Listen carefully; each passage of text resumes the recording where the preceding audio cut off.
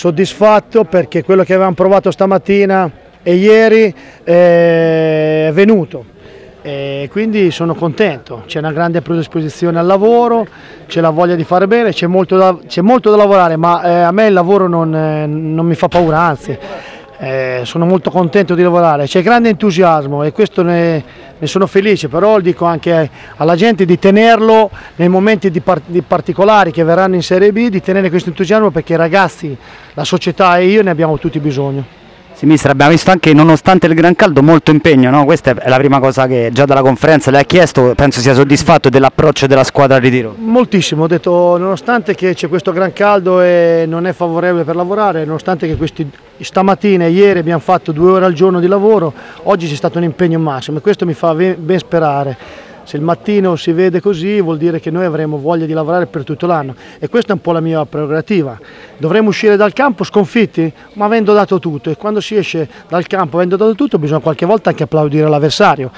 Questo dovrà avvenire poche volte per la mia concezione di come vedo la sconfitta, però potrà succedere, però usciremo eh, dal campo avendo dato tutto e molte volte l'avversario è più bravo di te. Abbiamo visto già eh, qualche cambio di modulo in corsa, no? eh, ancora è presto, però già due moduli oggi li abbiamo visti, si è iniziato 4-3-1-2 e poi 4-2-3-1 nel finale. Sì, anche perché nel, nel, finale avevo ragazzi che è giusto mettere nelle condizioni di esprimere le proprie potenzialità.